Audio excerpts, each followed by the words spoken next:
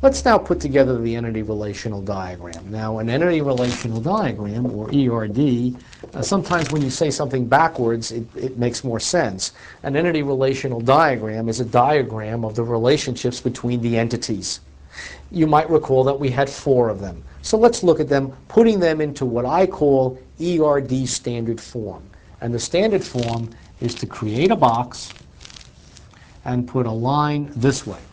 The line on top will hold the primary key. So let's take each one one at a time. We had orders, which had a primary key of order number. You might recall that we had left in that entity order date and a foreign key pointer called customer number, and I notated it as a foreign key. So that was one entity. Then I had an items entity, which had a primary key of item number and had price and name as its key, as its uh, non-keyed attributes. And then I had a concatenation from the first normal form failure, which was called order number, item number, and what was left was the quantity, and we called this order items. And then finally, I had customers, and the primary key was customer number,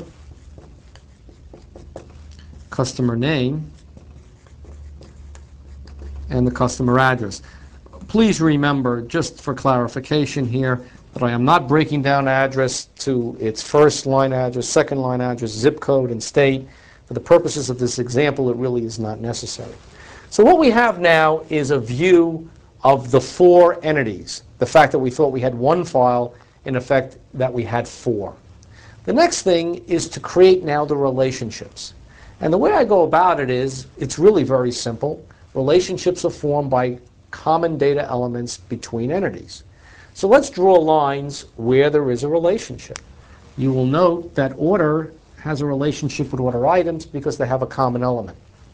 You'll know items has a relationships here because of the commonality of items. And because of the foreign key, we forced a relationship between customer and orders. Interesting diagram. When you simply look at it, it tells you a lot. The flow of data tells you a lot about a system. For example, the way a customer gets an item is through an order. Notice that customers cannot have a relationship with items directly without going through an order. So be cognizant of the fact that understanding how to read an entity relational diagram tells you a tremendous amount about how to indeed read the way a business operates. Not at a detail level, but at a high level. The next thing we need to do is look at something about the relationship, something we call cardinality. Cardinality tells us about the specifics of quantities between the relationships.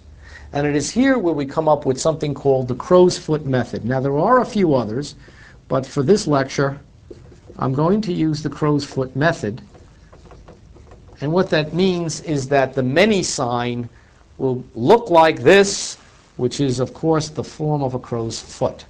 Now let's get more specific about it. And let me go through an example that I feel will properly explain a somewhat challenging situation for you. Suppose I was standing on top of this entity. Here I am standing on top of the entity, and I put my hand over my eyes, and I go down, and I pull up one of the records in this file. No matter what record I would come up, I would certainly have an order. Now, if I were to take that order and I would look down on this order item, what would be true about how many items would be associated with this particular order? And the answer is one. I'd have to have at least one or item associated with an order, or else it wouldn't be an order. So I put here a sign which stands for one. But I could also have many. How many? Many. And what is the sign for many? a crow's foot. So what this now says is an order can have one to many order items. That is cardinality. I'm not just showing that I have a relationship, I'm showing something more specific about that relationship. Now, if I were to jump down here, put my hand over my eyes, go down into the cylinder, and pick up an order item, and look back up at its associated order, what would I know? The first thing is any order item that I picked up in this file, the order number must be here. It must be here. And it can only be there once. I cannot have more than one order number of the same order number here. And this became known as the one and only one.